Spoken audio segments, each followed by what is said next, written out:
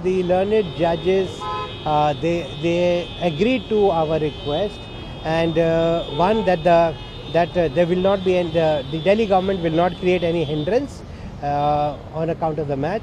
Uh, they will allow the match to take place. Two, the the learned uh, court has said that we have to pay one, one crore rupees as a as a goodwill or as a, as an uh, as a good intention that we want to be we want to pay the money. And this 1 crore is to be paid in uh, two installments of 50 lakhs and 50 lakhs. Uh, uh, in uh, 4 weeks time 15 days and 15 days but we will not wait for the, those uh, uh, that much time.